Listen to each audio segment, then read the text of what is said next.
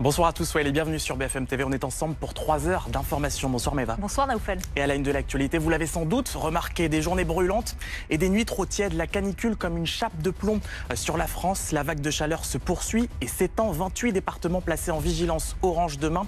Comment se protéger et éviter le coup de chaud? On vous dit tout dans quelques instants.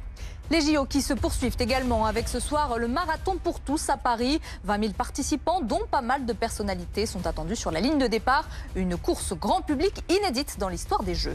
La France condamne avec la plus grande fermeté la frappe israélienne meurtrière sur une école à Gaza. Plus de 93 morts selon les autorités palestiniennes.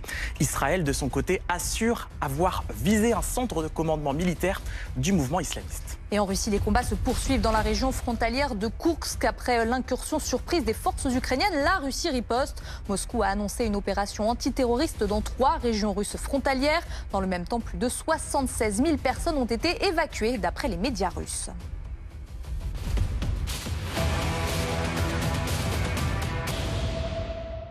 Et on commence avec euh, la canicule qui s'étend en France. 28 départements sont placés en vigilance orange canicule pour la journée de demain par Météo France. Les températures qui devraient même dépasser à certains endroits les 40 degrés. Exactement, de fortes chaleurs dans un contexte de euh, chasse et croisée sur les routes avec du monde à l'aller et au retour. Pour les automobilistes, forcément, il faut euh, s'adapter. Regardez ce reportage de Osema Kemissi, Mathias Arez et Damien Charton.